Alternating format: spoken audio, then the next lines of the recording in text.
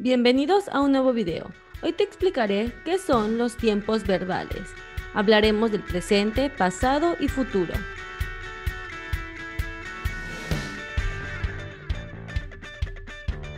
Pero, ¿qué son los tiempos verbales? Estos tiempos nos van a indicar el momento en el que ocurre una acción. Cuando nosotros tenemos una oración, tenemos nuestro verbo. Este verbo puede estar escrito en diferentes tiempos. ¿Y cómo lo vamos a identificar? Haciendo la pregunta ¿cuándo? Por ejemplo, ¿cuándo pintó el niño la pared? ¿La pintó ayer o antes? Puede ser que la haya pintado hoy o ahora, o la va a pintar mañana o después.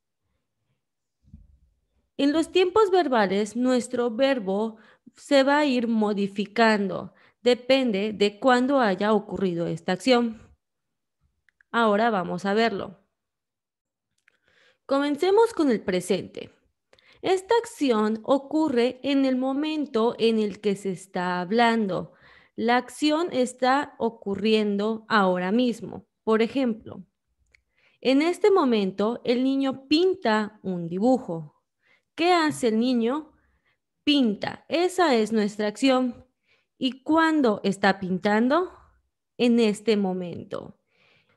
Ese es el verbo presente, cuando la acción ocurre en el momento donde se está hablando o platicando sobre algo. Ahora tenemos el pasado. El pasado nos indica que la acción de la que se habla ya sucedió. Lo que esté haciendo la persona ya quedó atrás. Por ejemplo, la niña pintó ayer un gran círculo azul. ¿Qué hizo la niña? Pintó. Este es nuestro verbo. ¿Y cuándo lo hizo? Ayer. El pasado nos está diciendo acciones que ya sucedieron. Ahora tenemos el futuro. En el futuro, la acción de la que se habla va a suceder más adelante en el tiempo es algo que todavía no ha ocurrido. Por ejemplo, mañana pintaremos con crayones. La acción que se realizará es que pintaremos. ¿Y cuándo será? Mañana. El futuro nos cuenta las acciones que se van a realizar el día de mañana o más adelante, en un tiempo que no ha sucedido.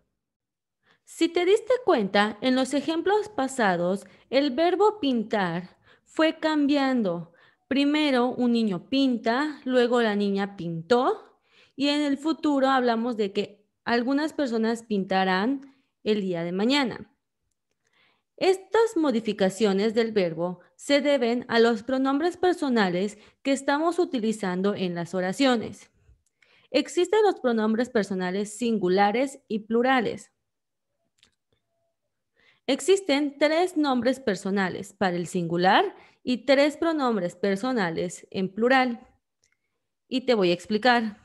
Singular significa que solo estamos hablando de una persona.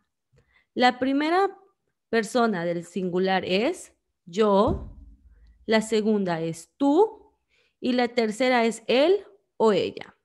Y el plural involucra a dos o más personas. La primera persona del plural es nosotros, la segunda persona del plural es ustedes y la tercera persona del plural es ellos. Estos pronombres personales los utilizamos al momento de modificar el verbo en la oración. Hablemos de las conjugaciones.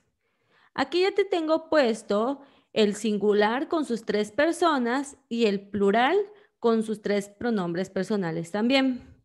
Vamos a conjugar el verbo jugar y primero lo haremos en el presente.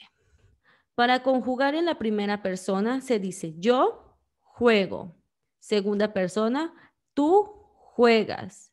Tercera persona, él o ella juega. Plural, nosotros jugamos. Ustedes juegan y ellos juegan.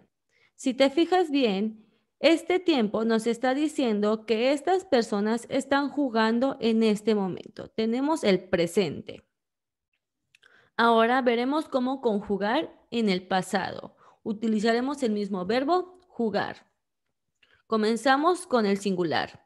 Yo jugué. Tú jugaste. Él o ella jugó. Nosotros jugamos. Ustedes jugaron y ellos jugaron. Estas acciones en el pasado nos están diciendo que ya sucedió. Ahora veremos el futuro. Seguimos con el verbo jugar. Comenzamos con las personas en singular. Yo jugaré, tú jugarás, él jugará, nosotros jugaremos, ustedes jugarán y ellos jugarán. El futuro recuerda que nos está mencionando acciones que van a suceder más adelante. Para repasar lo que hemos aprendido, el presente nos va a indicar acciones que suceden en el momento en el que se está hablando. El pasado nos marca acciones que ya sucedieron. Y el futuro son acciones que van a suceder más adelante en el tiempo, cosas que no han pasado.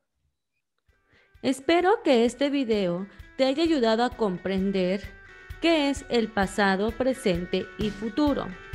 Si tienes alguna duda, déjala en comentarios y con mucho gusto te responderé.